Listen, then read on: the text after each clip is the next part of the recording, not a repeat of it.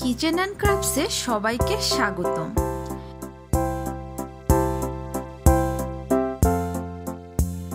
চলে এসেছে গরমের সিজন আর এই গরমে এক গ্লাস জুস শরীরে প্রশান্তি আনে। আজকে আপনাদের দেখাবো খুব সহজে কীভাবে পুদিনা আমের জুস তৈরি করবেন।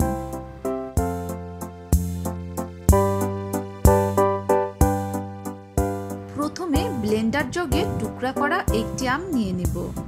এরপর দিয়ে নেব আট দশটা ফ্রেশ পুদিনা পাতা। দিয়ে দিচ্ছি এক টেবিল চামচ লেবুর রস।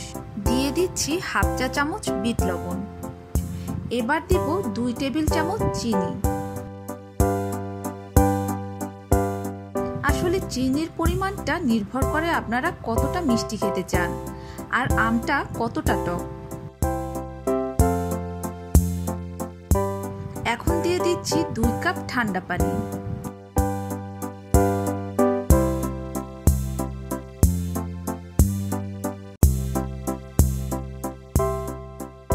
সব উপকরণ নেওয়া শেষ, এখন ব্লেন্ড করার পালা।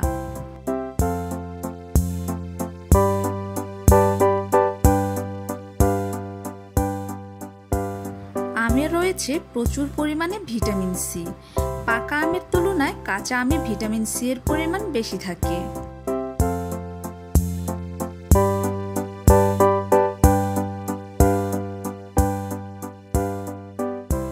কাঁচা আম, ক্যারোটিন ও ভিটামিন এ সমৃদ্ধ, যা চোখের দৃষ্টি বাড়াতে সাহায্য করে, রাতকানা রোগের হাত থেকে রক্ষা করে এবং চোখ ভালো রাখে।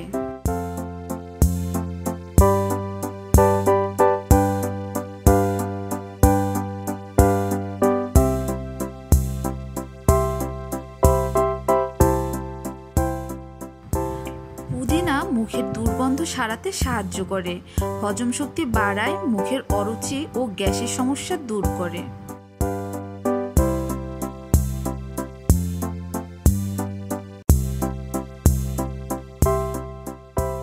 ব্লেন্ড করা শেষ। এখন একটি ছাকনির সাহায্যে পুদিনা আমের জুসটা ছেঁকে নেব।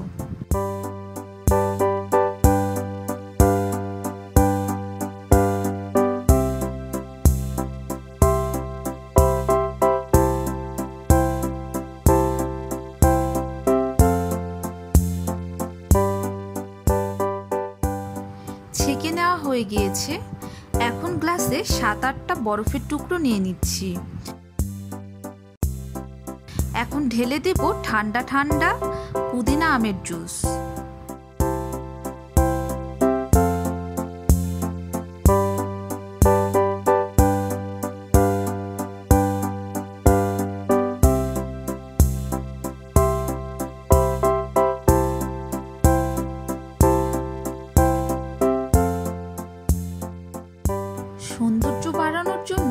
গ্লাসে দিয়ে দিলাম একটি লেবুর স্লাইস ও একটি পুদিনা পাতা।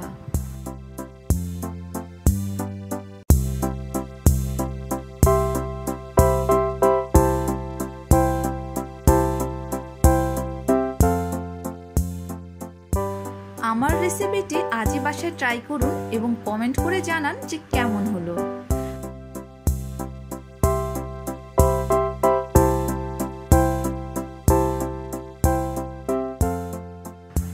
আমার চ্যানেলে যদি নতুন হয়ে থাকেন, তাহলে অবশ্যই সাবস্ক্রাইব করুন এবং লাইক দিয়ে পাশে থাকুন।